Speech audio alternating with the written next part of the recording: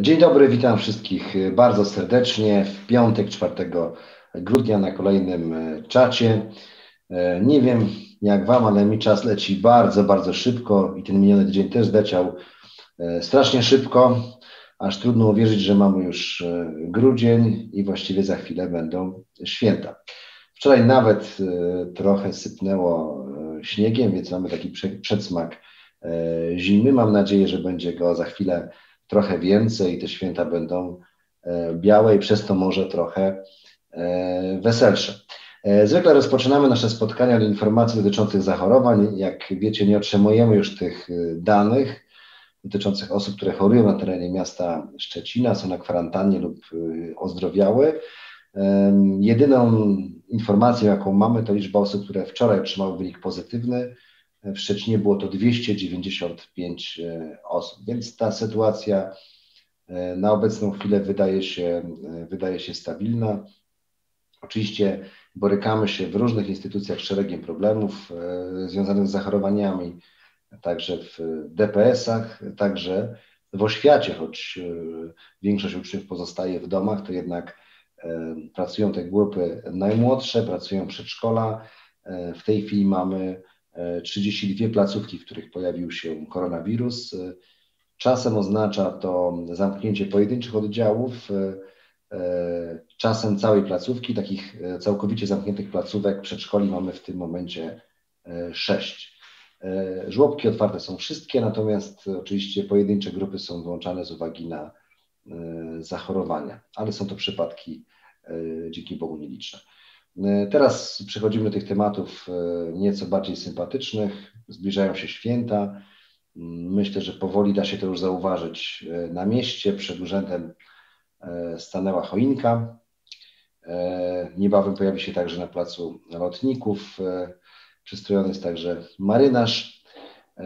Odpalenie tej choinki przed urzędem, pytacie często o ten moment, to się zdarzy w niedzielę, e, czyli 6 grudnia, świętego Mikołaja o 16.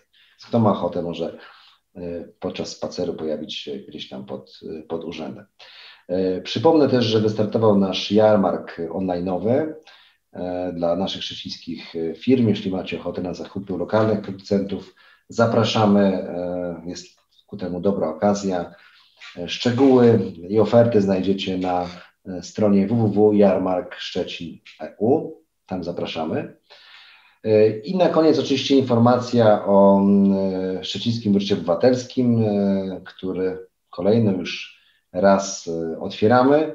E, po pewnych perturbacjach z jednym z projektów możemy już ogłosić, że głosowanie wystartuje w poniedziałek 7 grudnia o 9 rano i potrwa do 21 grudnia. Więc w tym czasie możemy oddać swoje głosy, namówić przyjaciół, znajomych, rodzinę do tego, żeby e, wsparli konkretny projekt, który uznamy za najbardziej wartościowy. Będziemy mieli dwa tygodnie na oddanie głosu.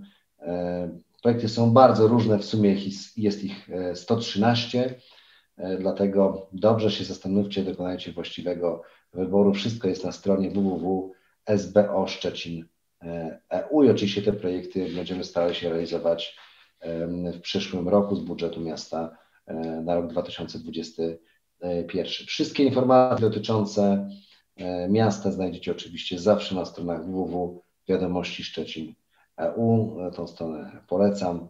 A teraz e, przechodzimy do pytań, które macie ochotę mi dziś zadać. Bardzo proszę. Pierwsze pytanie od Pani Bożeny. Kiedy w przybliżeniu jest planowany koniec przebudowy skrzyżowania Alei Wojska Polskiego z ulicą Zalewskiego? E, ważna inwestycja, Panie Bożeno, niestety z pewnymi opóźnieniami, ale mam nadzieję, że w połowie przyszłego roku e, ten proces e, będzie się kończył i mam nadzieję, że będziemy już mogli korzystać prawie w pełni z tego nowego węzła komunikacyjnego. Mówię prawie dlatego, że ostatnim elementem, który będzie dopełniał rolę tego miejsca na mapie komunikacyjnej Szczecina będzie oczywiście Szczecińska Kolej Metropolitalna, e, która niestety e, ruszy dopiero za, mam nadzieję, że ruszy za dwa lata. Jak widzicie, trwają przebudowy torów też w Szczecinie. Chcemy uzyskać dwuliniowość e, na całym odcinku z Polic do Szczecina. I mam nadzieję, że to się wszystko uda i ten pociąg będzie takim dodatkowym elementem naszego systemu komunikacji, szczególnie przy przemieszczaniu, przy przemieszczaniu się z jednego krańca Szczecina na, na drugi. Proszę o kolejne pytanie.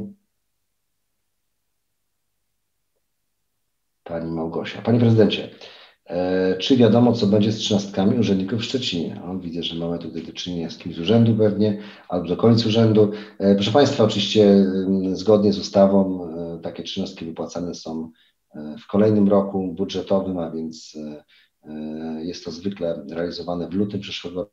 Nic nie wskazuje, aby te wypłaty nie były, nie były zrealizowane, dlatego że one wynikają po prostu E, z ustawy i są zabudżetowane w budżecie Szczecina na 2021 e, rok. Dotyczy to wszystkich e, osób, które pracują w administracji, w administracji Szczecina. Czy są jeszcze jakieś pytania? Patrzę tutaj na.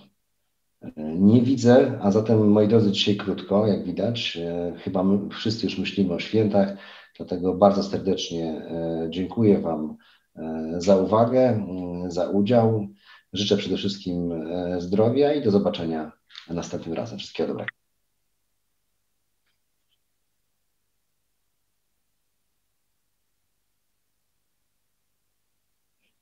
Halo jeszcze, halo, jeszcze mamy pytania, widzę. Pojawiło się pytanie. Przepraszam, w takim razie jeszcze wracamy.